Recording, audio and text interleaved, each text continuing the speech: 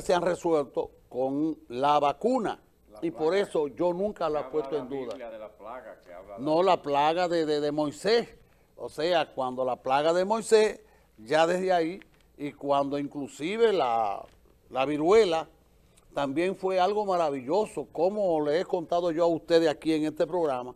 Y esta noche tenemos, recuérdense que el programa de esta noche, tenemos el doctor Teófilo Pérez que nos va a hablar de cómo la ciencia ha aportado a reducir, como diría el doctor, el historiador y médico, el doctor Ventura, historiador y médico, de cómo la ciencia de la medicina ha ido resolviendo muchos problemas, aunque hoy tenemos un problema que todavía estamos eh, batallando sobre confirmar cosas, pero quería decirle que hoy me tocaba la segunda parte de mi vacuna, hoy 20, que es la AstraZeneca. AstraZeneca.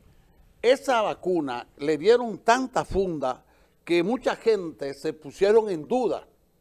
Y hoy me di cuenta, cuando me tocó el turno, que no había la cantidad de gente primaria que cuando yo fui, porque le hicieron una campaña de que como que la en algunos sitios a la gente le había dado X cosa, una embolia o, un tron, una serie de, fenómenos, pero es que ya la vacuna cura. Yo le decía a ustedes que cuando la vacuna comience a curar, la competencia entre compañías iba a venir. Y entre esa competencia está el de desacreditar.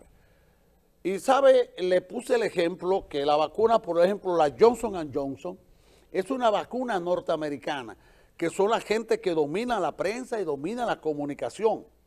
Y está parada. Y está parada por cosas no simples, sino por unos casos que no llegan a 10 que se presentaron, la frenaron. Y de ahí es que yo creo que la vacuna es algo en serio. O sea que por encima de que son compañías, existen leyes que protegen de que eso salga de calidad. Entonces hoy me puse yo la vacuna y puedo confirmarle a ustedes, gracias a Dios, que realmente, pero la misma AstraZeneca o la otra, la, eh, eh, la China. La China, yo me puse la AstraZeneca y realmente le confieso que no he sentido ningún tipo de manifestación que no sea lo normal. Lo normal, hoy yo no sé, por psicológicamente, sentí más hambre, no sé si fue que quise ir sin un desayuno muy, muy, muy fuerte. Y, y traté entonces de no desayunar, después me dio una hambre terrible, eh, eso, de una forma rápida, porque hoy le voy a dar los titulares para utilizar el mayor tiempo eh, la presencia aquí del doctor Teófilo Pérez. Y es que esto de las carpas, que anoche fueron sacadas eh, de una forma violenta, yo me creo que eso obedece a un plan eh, de la forma en que lo hicieron con un grupo de, de muchachas y de muchachos que no están luchando por el problema real de este país. El problema del aborto es una situación que se va a dar mañana o pasado, porque es una línea de Estados Unidos y los gobiernos y los políticos nuestros, todos obedecen y le tienen miedo a que le quiten la visa. Y el aborto es una línea bajada. Además, quiera si o no, el aborto se va a seguir dando.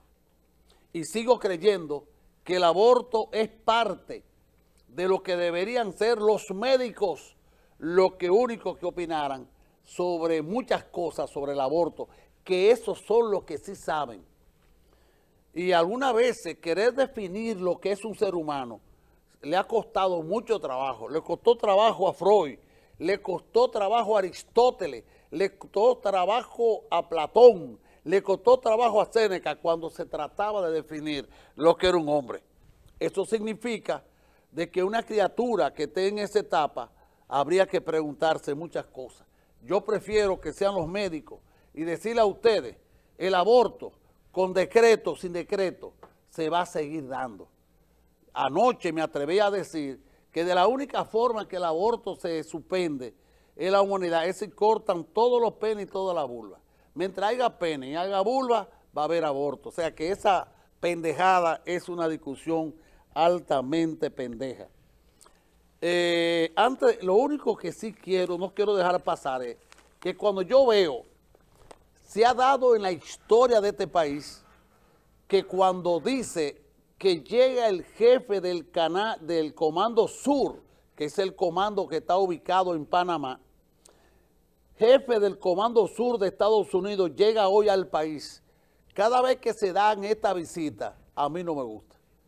Porque esos carajos se puede decir así. Nosotros los que tenemos posición ideológica y tenemos una doctrina eh, que nos conduce a amar un tipo de política a nivel mundial, sabemos, sí sabemos que cuando esa gente se mueve y vienen personalmente, vienen a traer mandado. Y no le estoy hablando a ustedes desde ahora, eso es desde el 1888, desde la época de Lili, cada vez que se mueve un alto militar es porque vienen a traer un mandado y ahí está la historia. Llegaron en el 1990 y ya en el, en el 1904 la República estaba invadida por primera vez, todas las aduanas con 850 eh, soldados. Luego, cuando Horacio Vázquez llegaron también un comandante militar y ya en el 1916 también estaba invadida por segunda vez la República Dominicana y así sucesivamente. Por último, antes de entrar ya en el tema, me duele mucho lo que le han hecho a 150 enfermeras. Bajarle el sueldo a 150 enfermeras es preferible que la cancelen. Porque cuando un ser humano ya está establecido, que tiene una tarifa de entrada, eh, y a usted de golpe le baja 5 pesos, ya esos 5 pesos le afectan.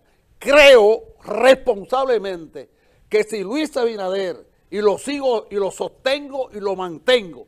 Si Luis Abinader sigue sin el apoyo del partido, sigue con una serie de funcionarios que cada vez que hablan, como el hijo de Jorge Mera, que dijo que sería interesante cambiarle el nombre de, de Hostos, Eugenio María de Hostos, el más revolucionario de todos los pedagogos y el que mayor aportación y ha demostrado que la educación puede cambiar a los seres humanos.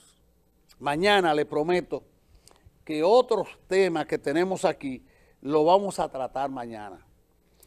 Y por último, sí le digo, tengo que conversar con la, eh, confirmar que hoy me llamaron y veo que no sabía que aquí, quizás el mismo Teófilo Pérez, que es una persona también muy versada, con muchas informaciones tecnológicas, y es que Haití ya tiene un canal aquí. El 198 se está produciendo en Patuá. O sea, que la invasión, que lo que nosotros luchamos hace 177 años, yo sigo diciendo que fueron 177 fracasos que hemos tenido por liberar este país y todavía la invasión haitiana se sigue dando. Y una cosa, no soy anti-individuo haitiano. A mí lo que no me gustan son las medidas impuestas por los grandes países para imponernos una invasión pacífica como se están produciendo si es real lo que yo estuve viendo hoy, que el canal 198 está, es de Haití y está en Patuá, es porque las intenciones ya están muy definidas. Señores, la ciencia a nivel mundial se ha escandalizado, los que saben de eso y aman eso, y no sé mucho, pero me incluyo dentro de la gente que le doy seguimiento a todos los fenómenos que se dan en el espacio. Tuve la suerte de estar en Cabo Cañaveral y en el gimnasio de Cabo Cañaveral, donde lanzan los cohetes a la luna. Y para mí no puedo describir se me haría muy corto las palabras para decirle a ustedes la satisfacción profunda que sentí al conocer a Cabo Cañaveral y conocer el museo y conocer de cerca los cohetes que han ido a la luna. Por eso me atrevo a decir, de eso sé un poco. Y ahora el mundo está escandalizado porque eh, lo que llegó al planeta Marte, el equipo que llegó a planeta Marte, entre su equipo está un pequeño helicóptero, un dron. Entonces el pequeño dron o el pequeño helicóptero va a tener capacidad de 30 días de volar, volver, volar, y ya voló. Y ya, ya estamos conociendo más cosas sobre el planeta Marte. Pero aquí abajo, aquí en la Tierra, también tenemos que sentirnos alegres de las cosas nuevas que se están produciendo a favor del ser humano.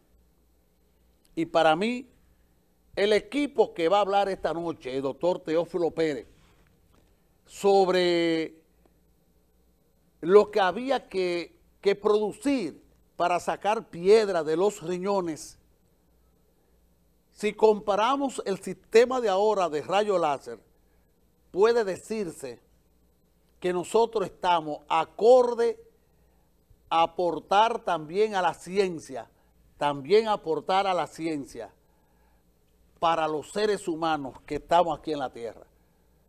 O sea que también aquí se están dando fenómenos a nivel de salud que la diferencia de tiempo atrás era traumática, era realmente extraordinariamente difícil, dolorosa para el paciente.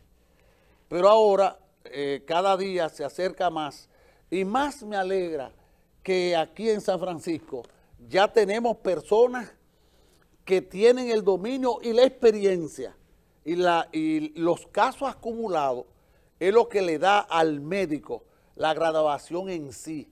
Eso no es un curso que tú haces, sale en fotografía, te entregan una placa, la grabación viene después que se ha aplicado varios casos. Así que comencemos a hablar sobre cómo resolver el problema de las piedras en los riñones con el sistema láser. Hablemos ahora sobre la cantidad de pacientes que ha tenido el doctor Teófilo Pérez y un material que tenemos para que usted en su casa, tranquilito, calladito,